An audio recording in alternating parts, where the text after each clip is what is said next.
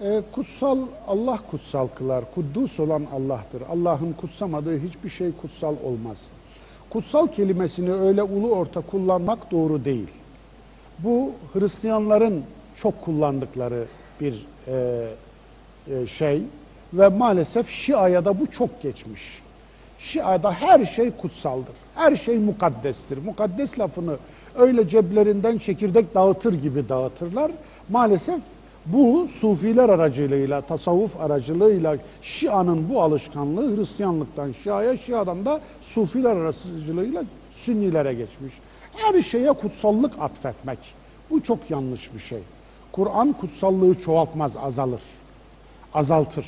Ve el-Kuddus olan da Allah'tır. Bu anlamda Ramazan'ın diğer vakitlerden farkı yok. Ramazan'a böyle bir kutsal, kutsallık atfettikten sonra zihniniz yamuluyor, Ramazan Müslümanlığı diye bir Müslümanlık çeşidi çıkarıyorsunuz ortaya. Ne oluyor? Ramazandan Ramazana Müslüman olanlar. Ramazandan Rama, Ramazan'ı bekliyor adam Müslüman olmak için. Ramazan'ı bekliyor günah işlememek için. Ramazan'ı bekliyor alkolden kesilmek için. Ramazan'ı bekliyor ahlaklı davranmak için. Ramazan'ı bekliyor infak yapmak için. Yok böyle bir şey.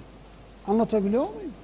Ramazan sadece ve sadece Kur'an'a göre Kur'an'a karşı sorumluluklarımızı gözden geçirme ayıdır. Evet. Ramazan'ın Kur'an'a göre tarifi, adı Kur'an'a karşı sorumlulukları gözden geçirme ayı. Kur'an'a karşı sorumluyuz. Peki sorumluluklarımız neler?